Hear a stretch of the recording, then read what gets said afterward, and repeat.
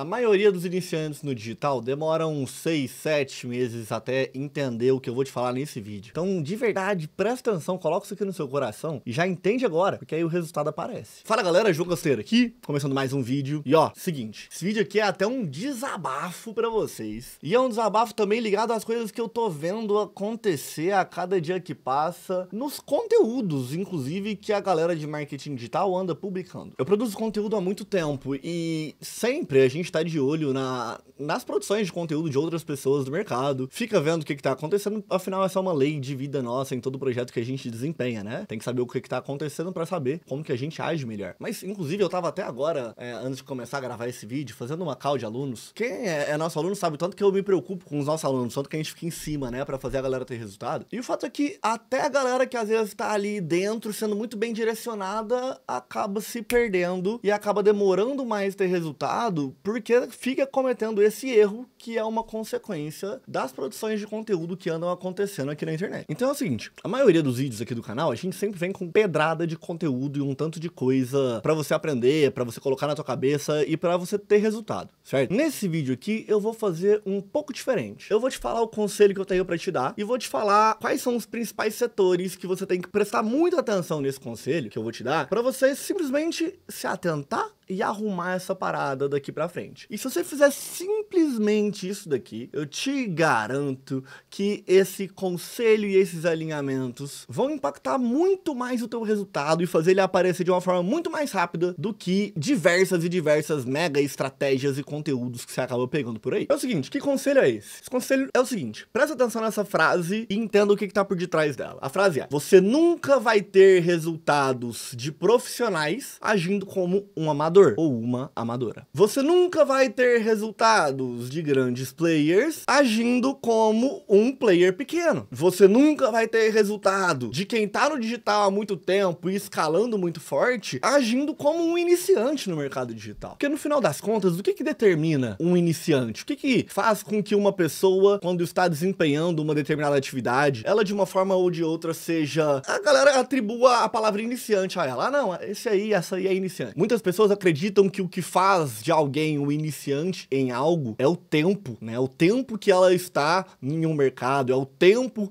que ela está desempenhando alguma atividade, é o tempo que ela já se dedicou àquilo. Eu não acredito nem um pouco nisso. De verdade mesmo. Para mim, o que faz de uma pessoa ser iniciante em algo é o que ela está fazendo dentro deste algo, perante a este algo. Então, no mercado digital, você pode estar há um, dois, três anos no digital. Se ao longo desses três anos você segue aplicando estratégias, fazendo coisas que iniciantes fazem, cometendo erros que iniciantes fazem, os anos de digital não te, não te fazem uma pessoa é, com bagagem, não te fazem uma pessoa avançada ou qualquer outra coisa do tipo. Não, você segue sendo um iniciante. Por outro lado, se uma pessoa começou há 15 dias, 7 dias no digital e já está agindo, já está trabalhando e aplicando coisas que são sim profissionais, que são sim sérias, que são sim as coisas que a gente sabe que trazem trazem resultado de verdade, para mim esse cara, essa mulher, essa pessoa já não é um iniciante. Se ela conseguiu entender em 7 dias, 15 dias, coisas que eventualmente tem pessoas que demoram 3 anos no mercado e mesmo assim ainda não entenderam, isso é mérito dela. Aquele benefício que todo mundo fala no digital, né? Nossa, é, aqui você não tem que fazer faculdade, aqui você não tem que demorar 5 anos para aprender algo e poder prosperar, é verdade. É verdade, pô. Você consegue sim fazer um treinamento, fazer uma mentoria, fazer alguma coisa que ali ali, em um pequeno intervalo de tempo, você já pegue direcionamentos que vão te co colocar com ferramentas à sua disposição que somente pessoas extremamente avançadas tinham anteriormente. Então você, iniciante, começa a aplicar coisas de projetos que às vezes demoraram anos para descobrir aquilo, para aprender aquilo e para agir daquela forma. E no final das contas, o que que faz essa galera iniciante permanecer ou então ir em busca dessas paradas que, putz, só iniciantes fazem? Na minha opinião, o que faz elas sempre ficarem ficarem procurando por coisas de iniciantes e ficarem a, se mantendo aplicando coisas de iniciante, é que elas ainda não decidiram de verdade fazer aquela parada. É que elas não decidiram de verdade se dedicar igual deveriam estar tá se dedicando. Quer ver, ó? Já pegando aqui um gancho. Primeiro elemento que você tem que se atentar bastante no teu dia a dia, se você tá fazendo isso daqui, se liga. Ficar vendo vídeo de venda rápida. Eu tô ficando é puto da vida, porque agora no YouTube parece que todo canto que eu entro, que alguém tem alguém que produz conteúdo de marketing digital, fica essa patifaria faria de venda em X minutos. Isso aqui é uma puta de uma sacanagem. Ah, João, você tem um vídeo desse. Ah, ah, ah, ah, ah. Eu tenho um vídeo com esse título. Você já viu o conteúdo desse vídeo? É, se liga. Meu amigo, minha amiga, eu te pergunto. Você que quer ter resultado de gente grande no digital, analisa uma, algum player grande, tá? Analisa um player grande de verdade, certo? E vê se ele aplica, se ele foca e se ele direciona as suas energias para fazer aquela estratégiazinha de venda rápida que você viu em um vídeo. É sério, faz a engenharia reversa. O player grande que você conhece e acompanha, você vê ele fazendo aquela estratégiazinha rápida ali? Você não vê. Mas no final das contas, o porquê que você quer aplicar uma estratégiazinha de venda rápida? Você quer aplicar uma estratégiazinha de venda rápida para ver uma comissãozinha entrar ali para você e como se essa comissão que entrou para você, no final das contas, fosse te mostrar que realmente você deve se aprofundar no digital e dedicar, dedicar de verdade suas energias para fazer isso dar certo. Só que isso não vai acontecer. Se você fazer uma vendinha ali rápida, com uma estratégiazinha bofeira, ao invés de a partir daquele momento você começar a procurar coisas mais profissionais e que vão te fazer ter mais resultado, você vai fazer o quê? Você vai começar a colocar mais energia e dedicação na estratégiazinha, para ver se sai mais umas vendinhas. Só que, pô, aí você não vai crescer nunca. Vai seguir sendo iniciante daqui a cinco anos. Então, uma pergunta: você anda vendo vídeo de venda rápida aí? Porque se tá, pelo amor de Deus, se você tá precisando de uma comissão para te provar que o digital funciona e que você pode dar certo aqui, é porque você não entendeu nada ainda. O mundo inteiro tá no digital. Todo canto que você olha, a galera tá no digital. Toda pessoa que você admira hoje em dia na internet trabalha com marketing digital. O que mais que você precisa para te provar? Não, pô, se ajuda. Segundo lugar, segundo ponto, você tem que se atentar fora ficar vendo vídeo de venda rápida. É a galera que fica tentando viralizar conteúdo, viralizar Reels, viralizar TikTok, viralizar vídeo no YouTube, né? Fica tentando aprender sobre viralização. Só que essa pessoa ainda nem aprendeu a ter consistência. Você nem consegue toda semana ter consistência na produção do conteúdo que você se propôs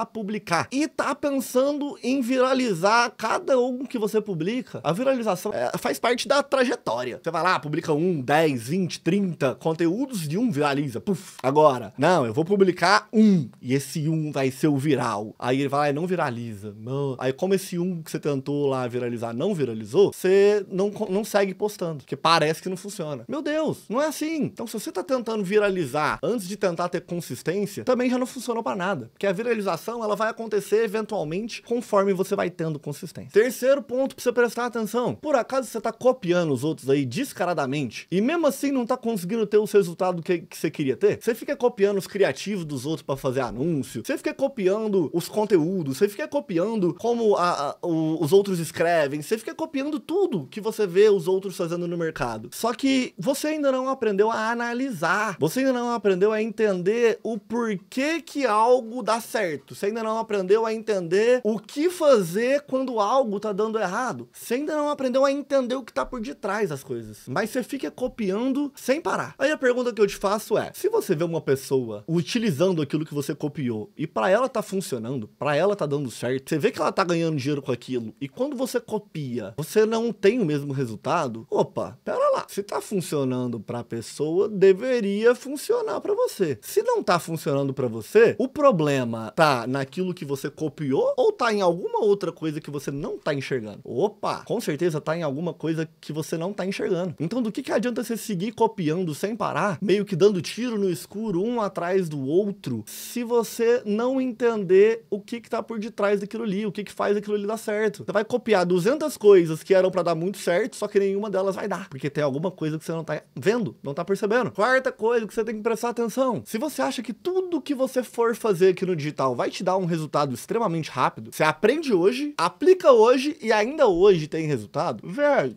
nossa, não, pô, não é assim que funciona. Pensa aí em algum grande player que você admira, pode ser eu, pode ser outras pessoas que você acompanha por aí. Você acha que tudo que ela pensa em fazer, tudo que ela planeja para executar e tudo que ela realmente executa na cabeça dela, ela tem que ter o resultado, né, o desfrute, ela tem que ter o retorno daquilo que ela fez no exato momento, naquele mesmo dia, às vezes naquela mesma semana? Ou você acha que ela tem o entendimento de o porquê que ela tá fazendo isso e que os frutos desta atitude dela podem às vezes demorar um pouquinho de tempo para aparecer? Com certeza, todo mundo que é grande de verdade entende que tem coisas que a gente faz que o resultado demora um pouco mais. E se é para dar o resultado rápido e não deu, o que, que, que, a gente faz? A gente entende o porquê que não deu certo. A gente entende o porquê que não deu o resultado. Se você não entende o porquê que algo não funcionou quando você utilizou, não adianta você testar o próximo algo. Se você não aprende com o erro e aí sim vai para a próxima parada, pode ser que esse erro se repita